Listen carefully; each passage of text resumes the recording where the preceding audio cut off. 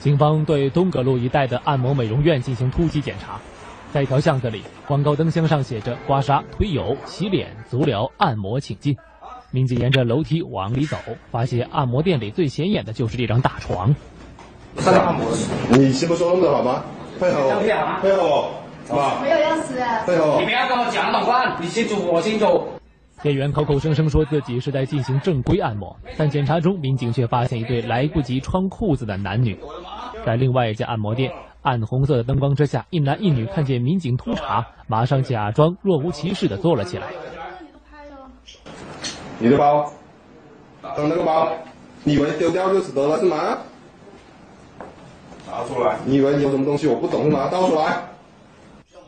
原来女子为了逃避打击，想趁民警不注意，将装有避孕套、润滑油等物品的包藏起来，但最终还是被民警给搜了。警方将二十多名涉黄人员全部带回处理。